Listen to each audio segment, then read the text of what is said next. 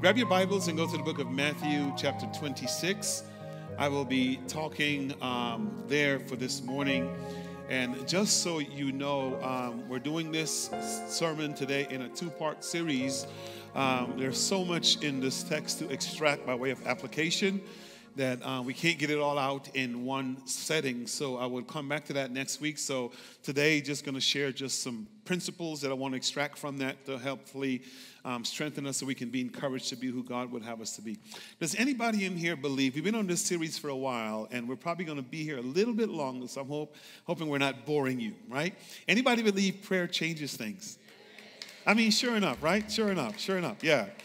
I don't want to steal. I don't want to steal nobody's thunder, but um, this morning, uh, this morning, and I won't give you detail, I'll just say generally, in between service, uh, somebody came up to me and said, Pastor, prayer do change things.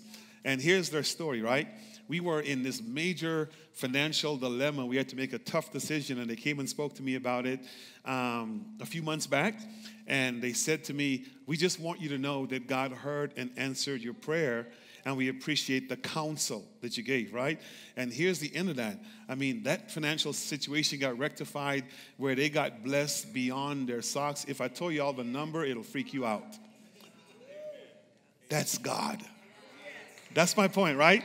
But prayer changes things, right? I was shocked, man. I was shocked when they were sitting there, I'm like, whoa, God did that?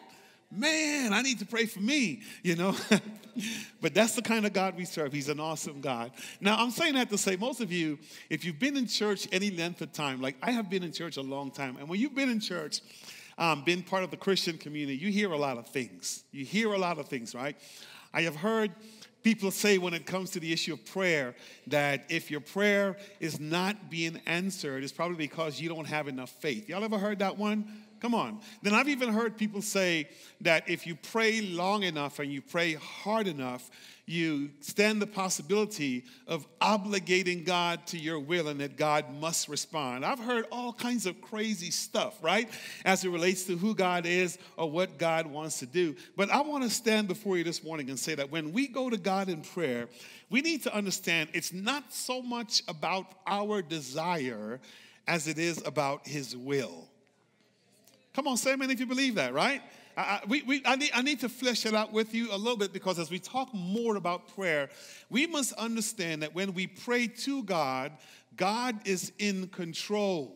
That's very, very important. I have a grandson that's been spending the weekend with me, and this little guy is two years old, and man, he can manipulate me. He can. He can. I mean, he, my, my wife's word, he's got you wrapped around his thumb, right? That little boy, he don't even have to pray. He just got to come to me, Grandpa, and give me them big booby eyes and whatever you want, right? And some of us think sometimes we can approach God like that.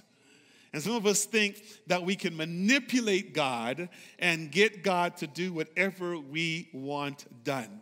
So, this passage that we're going to be looking at this morning, I believe it is a perfect example of how to pray in accordance with God's will, and then more importantly, to submit to God once God responds, right? That's very, very difficult for us to do because if I have needs and I have desires, I expect as a believer I can go to God, and God, because I'm a child, because I'm faithful, because I tithe, because I stay holy, because I do the things that God wants me to do, that He owes me something.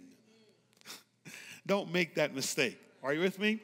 So I want us to look at this text and I want us to look at this passage to see what it's saying for us. So it said Matthew chapter 26. And just briefly, by way of literary context, let me just kind of walk you through what the passage is about. Then we're going to get to the few verses that I want to extrapolate and point to you. This, this in chapter 26 Jesus is at the end of his earthly journey, his earthly ministry. He had been ministering now for three years on the earth, doing what God has called him to do. And now he's at the end of his journey and he's communicating to his disciples what the series of events that's about to take place. So 26 opens up with the, the elders and the religious leaders plotting to kill Jesus. Now, what's striking about that is Jesus had already prophesied to his disciples that the end is near and his time is at hand. So, as we see that the chief priests are plotting, but they refuse to kill him um, because of the celebration of Passover that was going on, they wanted to wait until after that. So as Jesus is making his entry, um, we see that he's then anointed in Bethany with this very, very expensive anointment by this woman who's anointing him. Then we get down to verse 14, you notice that the betrayer, Judas, steps in, and Judas now sells Jesus out for 30 pieces of silver. How ridiculous is that, right? And then after Judas sells him out by betraying him, verse 17 picks up where he celebrates the Passover meal, or like we would refer to it as the Last Supper with his disciples, he is making a pathway down and he tells them to go make preparation. And then you get down to around verse 28, and we see him now eating this Passover meal with the disciples, where he took bread and he broke it and blessed it, and he gave them a meal, and they celebrated this, this, this Passover or Seder meal together. But then look at verse 30. When you get to verse 30, verse 30 speaks now to the end of the meal. And this is a passage that if you've been in church, I don't know about other denominations, but in the Baptist denomination, this is a famed phrase, right? It says this in verse 20, uh, verse 30. And when they had sung an hymn, they went out to the Mount of Olives. Y'all ever heard that before? And then church would be dismissed, right?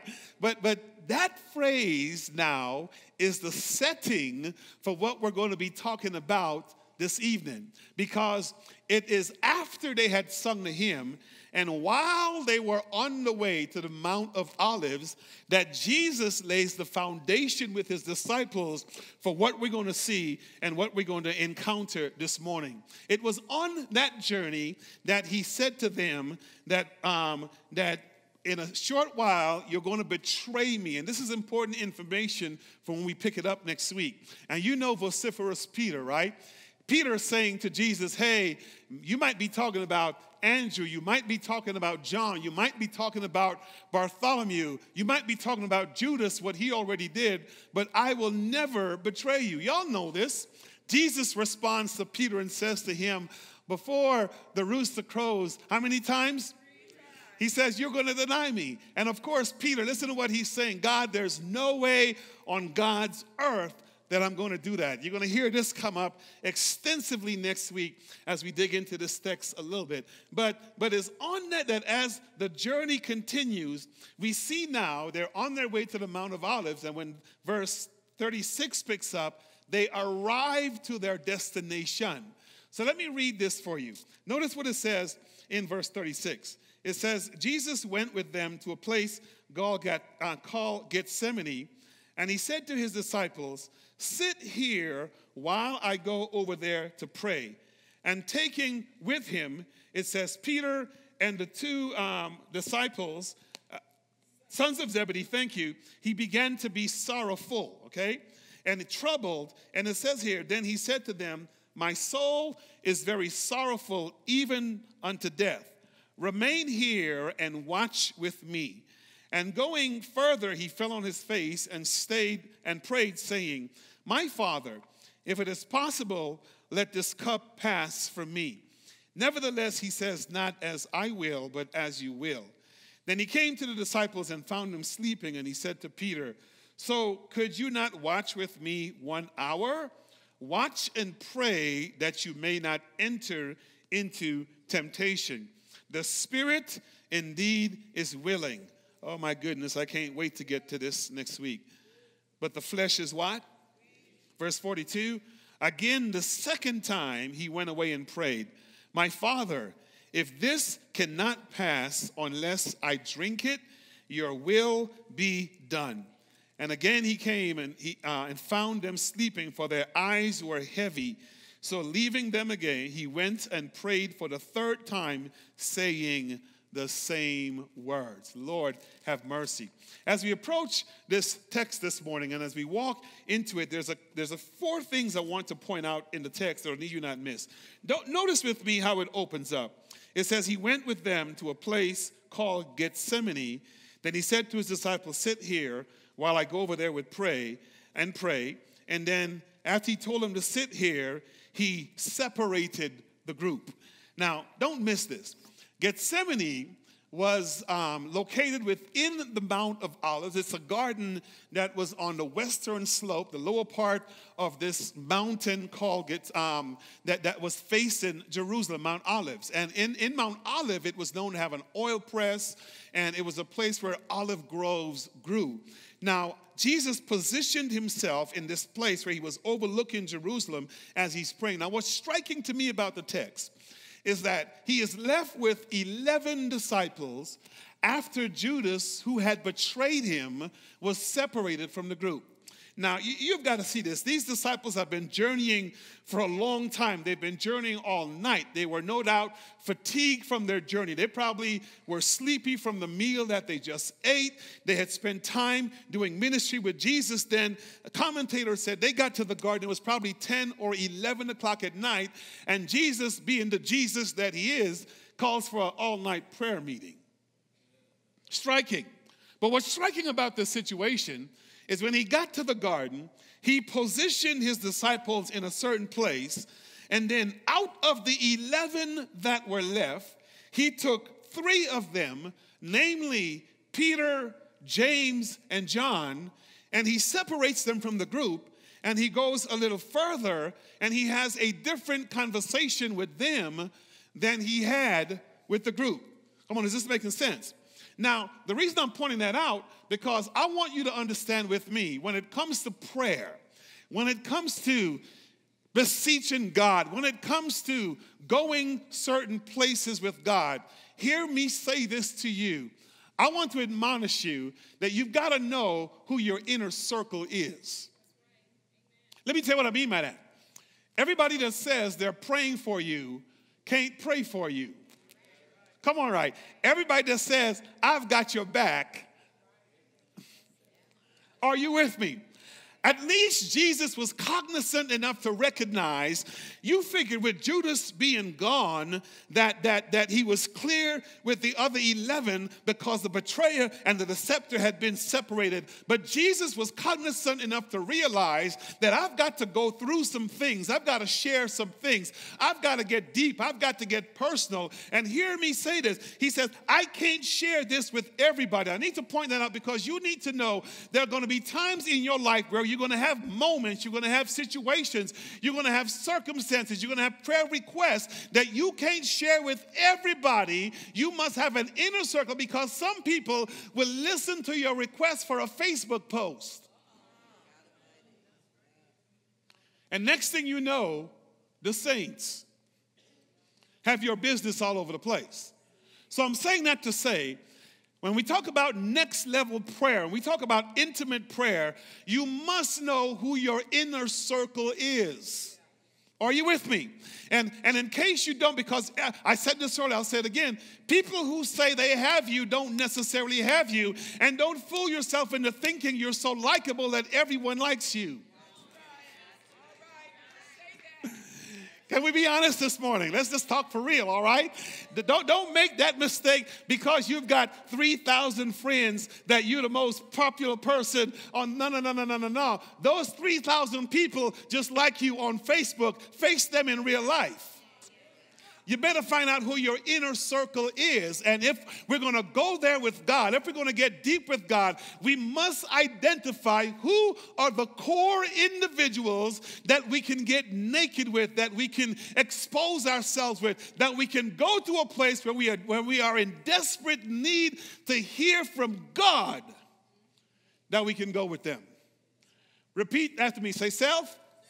Know your inner circle. Turn to your neighbor and say, neighbor, Know your inner circle. Very, very, very important, very, very important that you not miss this because look at the text now. Look at the text, right? He says here, and then taken with him, look at verse 37. Peter and the two sons of Zebedee, he began to be sorrowful and troubled. Then verse 38 says, And he said to them, My soul is very sorrowful, even to death Remain here and watch with me. Now, I, have read that too fast. I've read that too fast because if you're like me and you've been in church a long time, when you read this text, we read it from a spiritual perspective in our spirituality prevents us from seeing the depth of what the author is trying to communicate as it relates to what Jesus was saying to his inner circle. Remember with me now, this statement that Jesus is making is not being made in the midst of the 11. Are you hearing me? He has separated himself and now he has a core that he believes he can trust. Matter of fact, Mark names them Peter, James, and John, the two sons of Zebedee. And now he is alone with this inner circle. He's about to bear his heart out so that they could know how to pray to him. Okay? Now, here's the th- second thing I want y'all to take away from the message today, and that's this, okay? It is okay to be human. When it comes to prayer. Your voice don't have to change.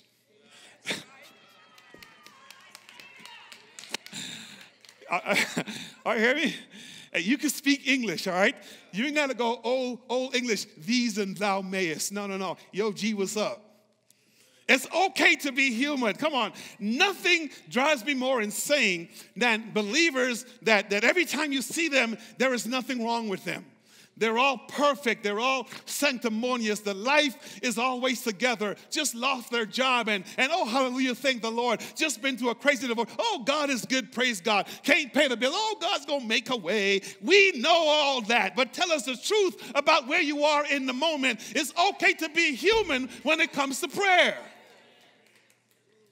And sometimes the church is so spiritual in how we pray that those of us that don't know God like that, we are hesitant to pray because we say we can't pray like that. Can we be real? Watch the text. Watch the text. Watch what the text says. Jesus has Peter, James, and John aside. And then the conversation changes. This was not something he said at the Passover table with the 12. This was not a conversation he had when they had sung a hymn and they were going on the way to the Mount of Olives. He finds himself in seclusion with them.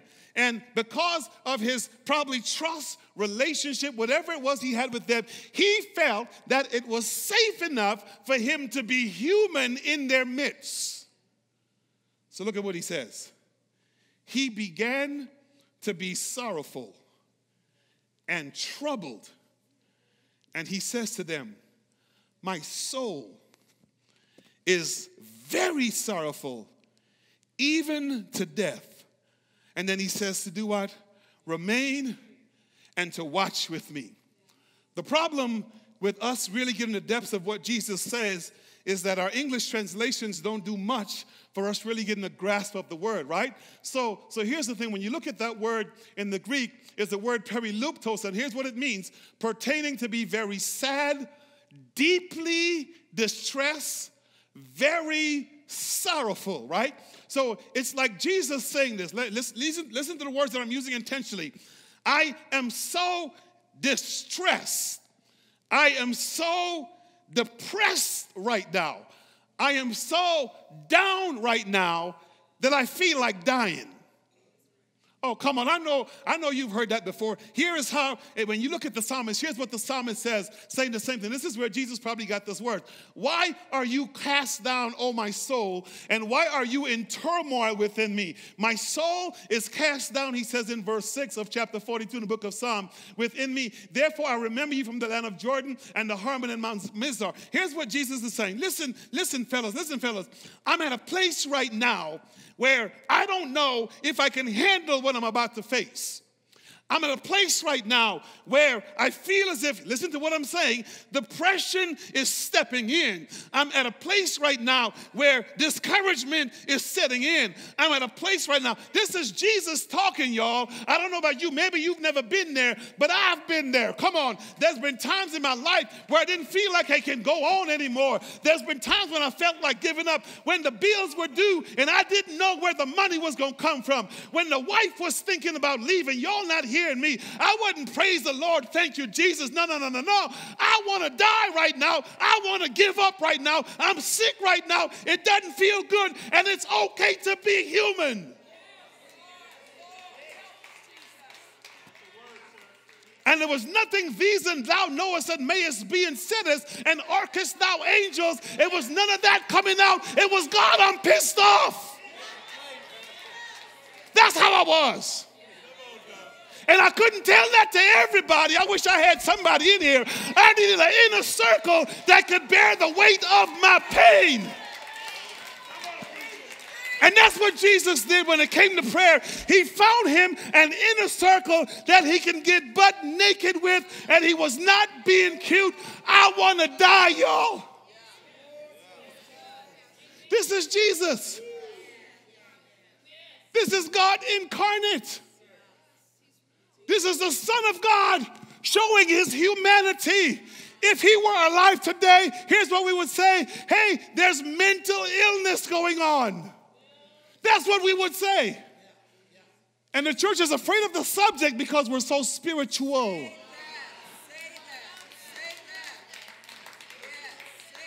It's okay to be human. Are you hearing me? It's okay to be human when it comes to prayer. It's okay to say, I'm hurting. Come on, talk to me. It's okay to say, this isn't working out. It's okay to say, I'm afraid. It's okay to say, I don't know how. It's okay to say, I don't see God in this. It's okay to be human. And church folk, quit trying to spiritualize people's humanness. Leave them alone and let them be human for a while. You don't see the disciples talking about, oh, but you're Jesus. They were probably like, Dad, you too? Because we were afraid when you called us three and separated us, we thought we were going to die with you. So we were shivering. We're glad to hear you say you're afraid.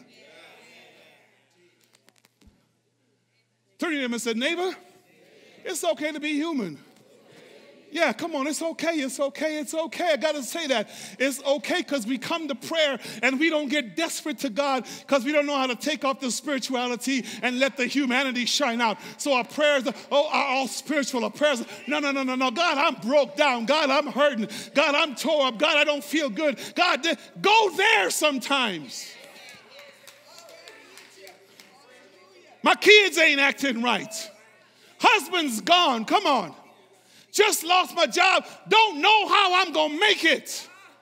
It's okay to be human, such that when we approach God, there is an authenticity about our petition. Come on, talk to me. Are you hearing me? Are you hearing me? Here's what he said. Here's what he said. Here's what he said. Here's what he said. He says here, look at this. He began to be sorrowful. Jesus? And troubled. Jesus? And he said to them, My soul is sorrowful. I'm messed up. He says, It's so bad, I feel like dying right now. Jesus? So here's what I'm gonna do about it. I want y'all to stay here and watch. We'll pick this up next week, and I'm gonna go pray. So look at verse 39. And going a little further, he fell on his face and prayed, saying, Father, if it is possible, let this cup pass from me. Nevertheless, not as I will, but as thou will. Right? So, so, so, so here, here's the thing. Here's the thing. Here's the thing. Let me say this before I kind of share this, this, this next thing with you, because you, you've got to get this and you got to track into what I'm going to say. Jesus was so human. He was so depressed. He was so saddened that Luke, in his rendition of this pericope, says that God dispatched an angel. Y'all notice to comfort him because as he was praying, his sweat became as drips of blood. So, so I want you to see Jesus in desperation. I want you to see Jesus crying out. I want you to see Jesus bearing his heart before the Lord. Then he gets to his father and then he makes this statement. Look at, look at what it says. The statement is this. He says, he fell on his face and said, Father, if it is possible, let this cup pass from me. Then he says, Nevertheless, not as I will, but you will. Here's how Mark said in Mark chapter 14. And he said, Abba, Father, all things are possible from you. I like Mark because when Jesus told his disciples he was sorrowful, he was depressed, he said, Wait here, I'm going to have a talk. And then he gets away and then he pulls the daddy card. I'm a Father. And then he says this I know you, and there's nothing you can't do. All things are possible with you. And you've got to hear this through the pain of his concern. You've got to hear this through his concern with the suffering and everything that he was going to go. So he's like, Daddy, there is nothing you cannot do. And then he didn't say, Please, it's a command. Handle this. Remove this cup from me. Maybe you've never prayed like that. Maybe you've never been through some stuff. There were times, there were times in my life when things got so discouraged. My prayer wasn't, please now, Master, please, no, no. It was, God, you better handle this. God, you better take care of this. God, you better remove this. Come on, has anybody ever prayed like that? Lord, you better fix it. Here's what we say right now, Jesus, in the moment, please, Master, and we plead and we petition God, handle this, remove it now. But then watch what he says, nevertheless.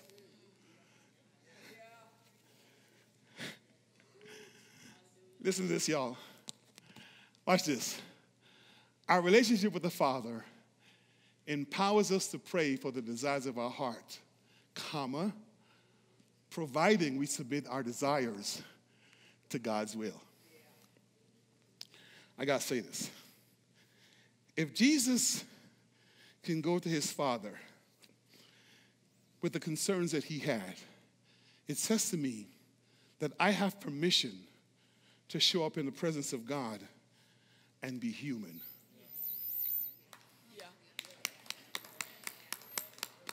Come on, y'all. Come on, talk to me this morning. I have permission to go in the presence of God and be human. So I can go to God and for a moment I can forget Bible. I know that sounds so blasphemous to some of y'all. Isn't that what Jesus did? Because the word was you're going to die. The word was you're going to be suffered. And the word was you're going to go through. But here's how he approached hold up, I don't feel good right now. I know what the word says, but it ain't manifesting. It's, I wish I had somebody in my life. It, it ain't, you, you, you kind of get where I'm going. It doesn't feel good. So I can go to God in my humanness and I can say to Him, Lord, I am hurting. Lord, I need this. God, I am good. This is where I find myself. You have permission to be human before God and let Him know what you want. Yeah. You've got permission.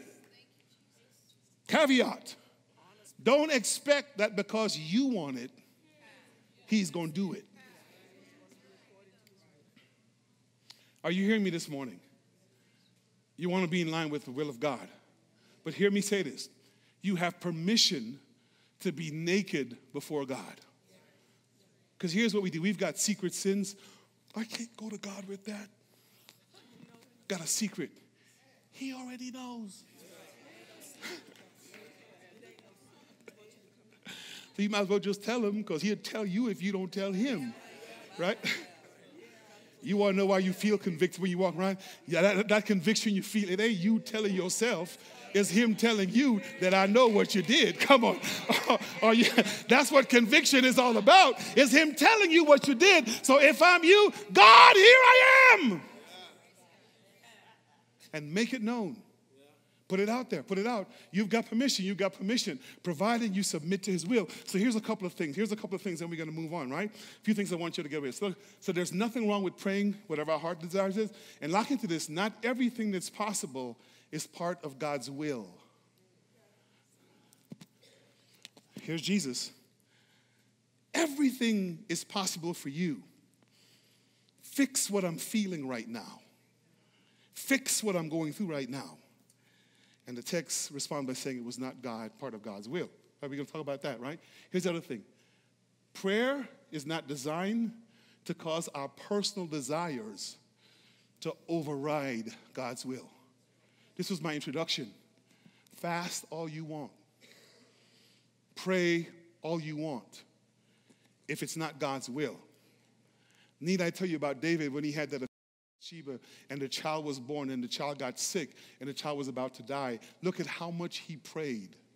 Look at how much he rented his garment, sackcloth and ashes, yet and still, God did what God was going to do. Does this make sense? Come on, say amen if you're here. Okay? Look at this last one. If Christ had to guard his own requests by submitting it to God's will, how dare we ever try to pray for anything without adding, if it be your will? Say it differently. If Jesus, God's very Son, if Jesus, God incarnated in flesh, had to submit his desires to what God wanted, who in the world do I think I am to think I can place a demand on God? Are you hearing me? Who in the world do I think that I am? So look at the text. We're almost there. Look at the text. Let me share one more thing with you. It says here, going a little further, he fell on his face and he prayed, My Father, if it is possible, let this, what's the word? cup pass from me. But nevertheless, he says, Not as I will, but as you will. Here's what you need to know about that cup. Here's what Jesus was really concerned about at the core of the issue. The cup in the Bible days or in the Old Testament is a metaphor for suffering, saying that I'm going to have to suffer a lot. So when he looked in the cup, he saw all the beatings he would have to endure. When he looked in the cup, he saw nails going through his hands and nails going to his feet. When he looked in the cup, he saw a crown of thorns on his head. He saw himself having to carry that cross through the dusty road of Calvary. He saw himself being marched from judgment hall to judgment hall. He saw himself being pierced in the side. When he looked in the cup, he saw my sins and he saw your sins. When he looked in the cup, he saw himself bearing all the sins of the world. And more importantly, when he looked in the cup, he saw his daddy turning his back on him because his daddy could not bear the weight of his sin. And he he says, Hold up, that draws the line. God, if it is possible, do this differently. Ah, I can't handle that. But then watch this. But then he says this, not my will, but whose? Imagine if we can learn that as a people. Imagine if we can learn that as a community. Imagine if we can learn that as a body of believers, and our goal is to consistently walk in the will of God. Now, watch this, and then we're going to pick this up next week. I'm going to skip verses 40. I'm going to skip verses 41, because we'll talk about that next week. And then look at verse 42. So here's what happens in 40 and 41. He prays. Commentators said he was probably praying for about an hour or so. He goes back, smiling because his inner circle fell asleep. We'll pick that up next week. He reprimands them or encourages them, and then he goes back a second time to pray. And then verse 42 says, again, the second time he went away and prayed. And watch the prayer, watch the prayer. Father, if this cannot pass unless I drink it, your will be done. So it's almost as if between verses 40 and 42, God answered the prayer and he knew what the answer was. And so when he goes back, he doesn't say, My soul is troubled. Changes. He doesn't say, If it's possible, take this away. He comes back and he says, Okay, that's how you want to do it? Cool with me and he goes about and does it. Let me, let me, let me just let me just say this. Let me just say this. As I always say. Every prayer request should be submitted to the will of God. When God answers, make the adjustment to his will. This is me. Oh, you want to go there? I was hoping we go here. I tell you what, I'm gonna go ahead and go here because I think I know more than you. All right, I'll catch you on the rebound. Why don't you just meet me over there because I'm going that way? And then he does meets us over there, but the problem is we're in jail over there.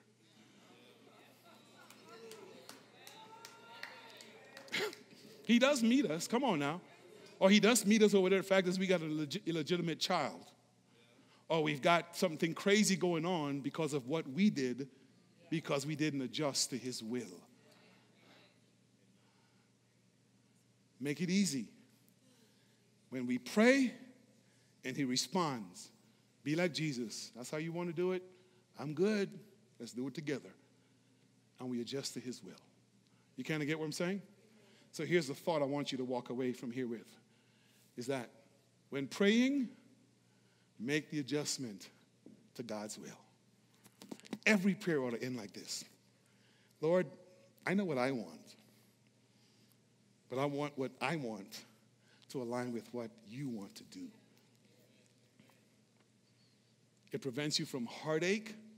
It present, prevents us from failures, from turning our back against God. It protects us from a whole lot of stuff, right? And here's the good news in that because here's what Jesus said Oh, you want me to die? Okay, we're going to do it like that. I'm good. You want me to suffer? I'm good.